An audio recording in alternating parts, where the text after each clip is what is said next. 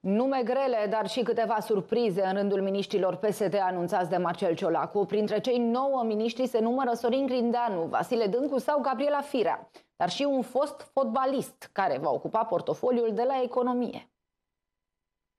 Numele pentru fiecare minister. Ministerul Finanțelor, domnul Adrian Câciu, Ministerul Apărării Naționale, domnul Vasile Dâncu, Ministerul Economiei, Marius Humelnicu, Ministerul Tineretului Familiei Egalitate de Șanse, Gabriela Firea, Ministerul Transporturilor și Infrastructurii, Sorin Grindeanu, Ministerul Agriculturii și Dezvoltării Rurale, Adrian Cheznoiu, Ministerul Sănătății, Alexandru Rafila, Ministerul Muncii, Marius Budăi și Ministerul Culturii, Lucian Romașcan.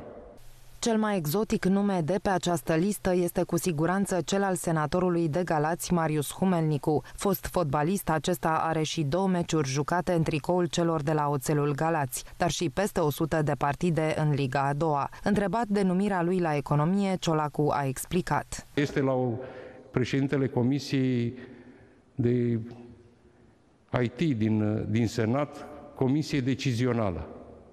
Și ce recomandă la Ministerul Economiei? Am înțeles că este inginer și are toată susținerea noastră inginer pentru acest în, minister. Inginer în ce domeniu? N-am, n-am înțeles. Inginer în ce domeniu? În ce domeniu este inginer? Veți vedea, va veni în fața dumneavoastră și se va prezenta.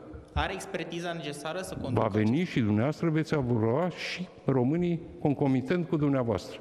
Sper să fie un ministru așteptările românilor. Fostul primar al capitalei, Gabriela Firea, va face și ea parte din guvernul Ciucă, unde va fi ministru al familiei, tineretului și egalității de șanse. Doamna Gabriela Firea, sunt ferm convins că va explica detaliat cu ce se va ocupa acest minister. Eu mă bucur că va exista acest minister.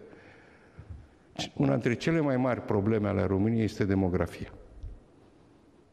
Dacă nu reușim să avem servicii de calitate pentru cei care doresc o familie și să aibă copii, nu, să nu ne așteptăm ca să crească demografia.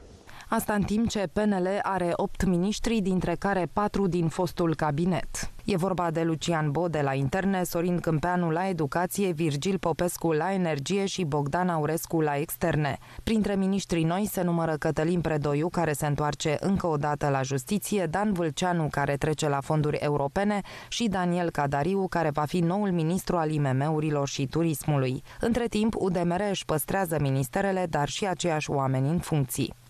Uniunea Democrată Maghiară din România păstrează uh, trei portofolii plus uh, funcția de viceprim-ministru în guvern și uh, suntem gata să venim în Parlament. Joi va fi vot în Parlament, miercuri audieri.